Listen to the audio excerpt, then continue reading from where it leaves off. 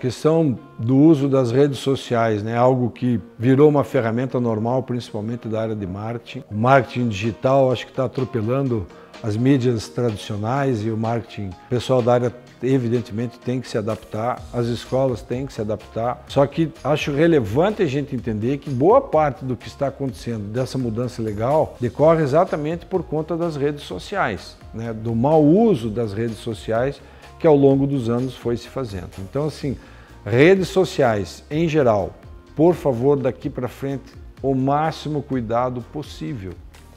Pensem que é, a mera divulgação de um evento interno da escola. Se a gente faz isso numa área, no site da escola, numa área restrita a quem tem senha e login da escola e não a área que qualquer um possa acessar, a gente até consegue defender que isso era mera divulgação de um evento interno. Mas ainda assim, daqui para frente, a gente vai precisar de autorização prévia, expressa e específica do pai. Aquelas autorizações que a gente tinha, né, a cláusula lá no contrato de prestação de serviço, onde ele dizia que cedia o direito de uso da imagem do filho pela escola, desde que respeitasse os princípios morais em qualquer mídia, para qualquer fim, isso não vale mais. A lei diz que esta autorização genérica é nula.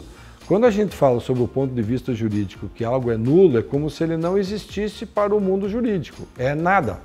Então a gente não tem mais autorização nenhuma. Ah, mas no, neste ano não deu tempo, meu contrato ainda está prevendo isso. Eu diria que talvez até julho essa cláusula ainda possa ser utilizada e validada. Então as escolas e as empresas em geral né, têm primeiro semestre de 2020 para se adequarem às novas determinações legais. Na nova determinação legal, eu não posso fazer uso da imagem da criança salvo autorização expressa e nesta autorização tem que constar aonde eu vou usar a imagem e qual é a finalidade do uso da imagem. Se eu disser, por exemplo, que a finalidade é mera divulgação do evento para a comunidade interna, eu preciso dizer isto. Se eu usar esta mesma imagem numa área do meu site, que é aberta ao público externo da escola, que qualquer um que entre no site da escola possa ver a imagem da criança, a escola vai ter problema. Isso é vazamento indevido ou uso indevido de dado.